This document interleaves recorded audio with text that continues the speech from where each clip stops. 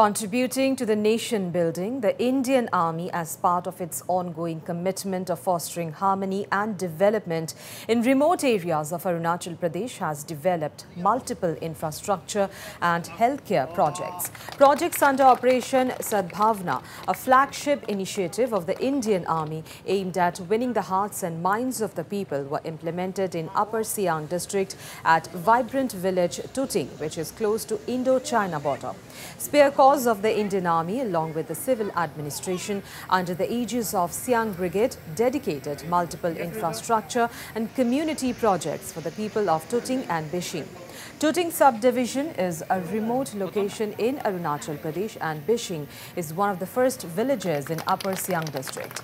The projects undertaken at Tuting include a fully equipped ambulance for sustained emergency medical services, upgradation of Anganwari and veterinary hospital and a children park come open gym for recreational activities. At village Bishing, a community hall for social gathering has been constructed and upgradation of primary school at Bishing was undertaken as well.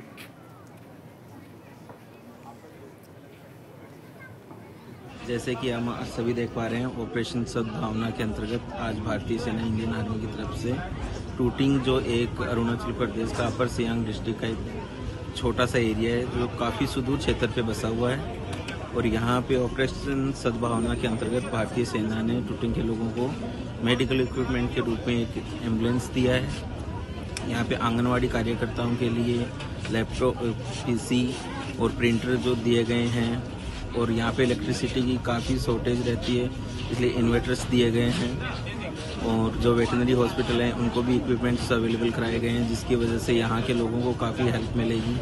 क्योंकि मैं tooting काफ़ी सुदूर क्षेत्र होने की वजह से connectivity यहाँ पे बहुत कम है, इसलिए जो लोग हैं यहाँ पे काफ़ी सफ़र कर रहे थे, कुछ प्रॉब्लम्स थे, जो मेडिकल यहाँ नियर बाई जो अच्छी मेडिकल फैसिलिटी है, वो पासीघाट है, जो यहाँ से अराउंड 250 किलोमीटर है। तो वहाँ तक जो पेशेंट्स को जाने के लिए काफ़ी प्रॉब्लम्स फेस करते हैं लोग यहाँ पे। तो जहाँ तक मैं सोचता हूँ कि इंडियन आर्मी के द्वारा ये जो कदम उठाया गया है ऑपरेशन सद्भावना के अंतर्गत, ये यहाँ के लोगों के लिए काफ़ी यूजफुल होगा। और मैं आगे भी यही विश करूँगा कि इंडियन आर्मी लगातार ऐसे प्रोग्राम चलाती रहे, जिससे टूटिंग का डेवलपमेंट काफ़ी अच्छे से हो पाए। इंडियन आर्मी का तरफ़ से ऑपरेशन सद्भावना के दौरान हमें एंबुलेंस दिया जा रहा है। ये बहुत अच्छा बात है, क्योंकि टूटिंग जो है डिस्ट्रिक्ट हेडक्वार्टर से बहुत दूर दराज इलाका में है। यहाँ बीमार होने से तकलीफ़ होता है जाने के लिए, यहाँ से डिस्ट्रिक्ट हेडक्वार्टर में पहुँचने के लिए।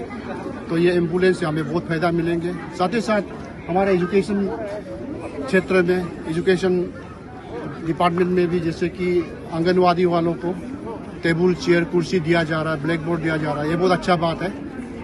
उम्मीद करता हूँ कि आगे आने वाला समय में भी इस तरह इंडियन आर्मी जो है वासियों को सेवा करेंगे।